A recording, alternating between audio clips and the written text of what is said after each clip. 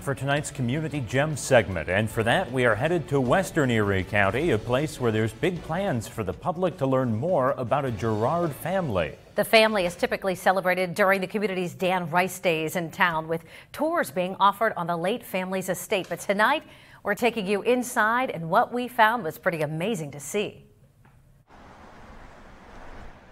Cars pass by this sign on Main Street in Girard every day.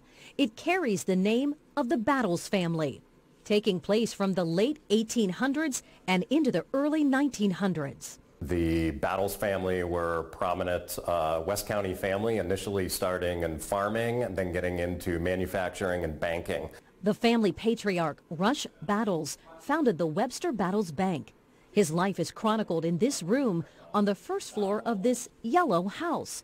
And so is that of his daughter, Charlotte Elizabeth Battles, who inherited the estate and carried on his local legacy. A legacy that the public can enjoy by going room to room and taking in original items from that time in history. Cal Pifer is the executive director of the Hagen History Center, formerly the Erie County Historical Society, which oversees the Battles estate. We have the extension of the Erie Canal that runs through the property with hiking trails that the public can uh, access. The public can also rent this yellow home and property around it, which sits on 120 acres. Rustic farm weddings, and they can use the seasonal apartment um, and stay for a week, a month, for the whole season.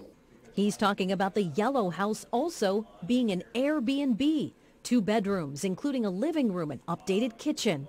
But while there's plans to also update the first floor, the second home on the Battles estate called the White House is a time warp. Decades-old spices remain in the pantry, as do furnishings in each room. There's five bedrooms in this home, now museum, and this was Charlotte Elizabeth's bedroom. She was a world traveler, and as you can see, much of the stuff remains intact as it was from the 1950s when she passed away. There's even dry cleaning still intact in this closet in one of the other bedrooms.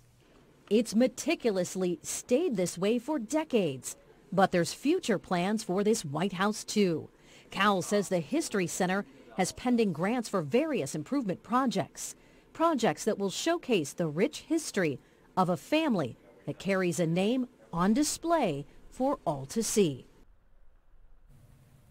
Interested in a tour, maybe having an event, staying in the Airbnb there? There is contact information when you head to our website, erienewsnow.com. Click on this Community Gem story. But you know, with the plans this summer to refresh the property, volunteers are needed. So if you're involved in a civic group, a youth group, eh, you're welcome to reach out, play a part in the beautification and the restoration. And also our Lisa Adams will have more on both the Battles Estate and the Hagen History Center coming up this weekend on her show, The Insider.